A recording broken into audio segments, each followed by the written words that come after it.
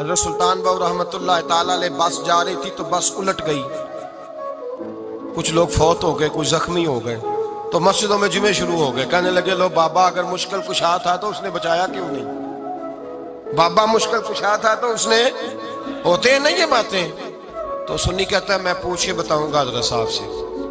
कोई जवाब नहीं आता इसे हालाँकि अगर इसकी सियासी जमात पर इतराज होता तो इसे फ़ौरन जवाब आना था। कहने लगे, लो जी, बचाया क्यों नहीं? खुतबे होने लगे। मुश्तरका खुतबा सारे इसी मौजू पे, बाबा, मुश्किल कुछ आता तो बचाया क्यों नहीं? मैं उस हज में शरीक था, जिस हज में कई हज़ार बंदे मिना में शहीद हो गए।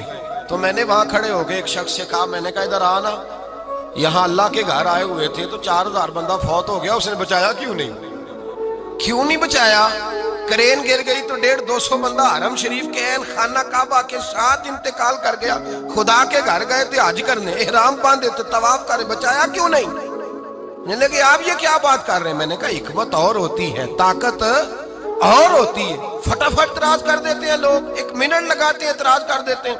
हमारी कौम फटाफट भूल जाती, भाई, मस्जिद में बम ब्लास्ट होता है, मस्जिद में बम ब्लास्ट होता है। इतने सारे नमाजी शहीद हो जाते हैं। खुदा मुश्किल कुशा नहीं हाजत रवा नहीं, बंदों को बचा नहीं सकता।